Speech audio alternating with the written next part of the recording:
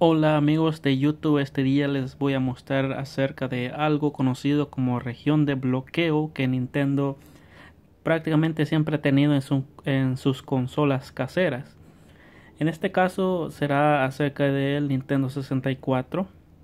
La región de bloqueo o bloqueo de región, como lo quieran llamar, prácticamente fue algo físico.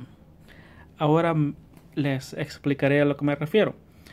Ah, en estos días prácticamente, ah, bueno, hasta la salida del Nintendo Wii U, si ustedes querían jugar un juego que había sido comprado en Japón en su consola ah, de Wii U que era de América, el Wii U de América no leería ese juego.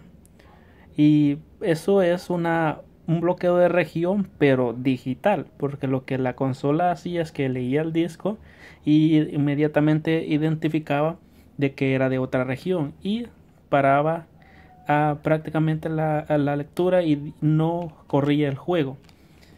En estos tiempos cuando el Nintendo 64 salió era bien distinto así que tenían que hacer un bloqueo de región físico. Prácticamente era de que los juegos que salieron para Japón no podían usarse en las consolas de América y viceversa. Ahora les voy a explicar. Aquí es prácticamente lo que hacían ellos. No sé si pueden ver, pero era como unas cosas de plástico que hacen que los juegos de América no entren. Como pueden ver, no pasa de ahí pero si ponemos un juego de Japón, entra perfectamente. Y si lo comparamos con la consola de América, es lo mismo. Tenemos el juego de América, Mario Kart, lo insertamos y entra prácticamente sin problemas.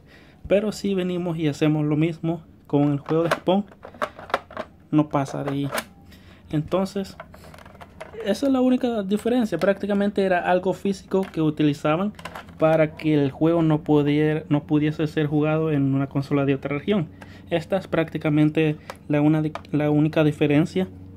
Como pueden ver, esto es normal. Todos sabemos que esto lo tienen los juegos de América para Nintendo 64. Pero así son los de Japón.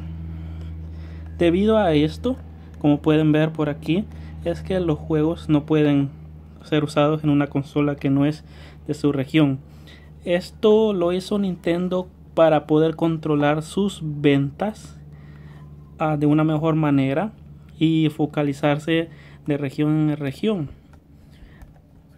Ahora en día, como les mencioné, ya no se hacen así los bloqueos de región físico, sino que son digitales. Es simplemente que la consola puede identificar si el juego es de una determinada región o no. Eso es todo lo que les quería enseñar el día de hoy. Gracias por ah, estar pendientes del video.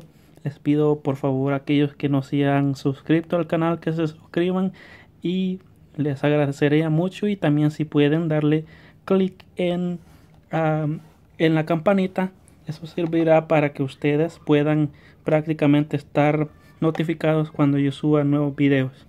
Eso es todo, ya no les quito más tiempo. Gracias, hasta luego.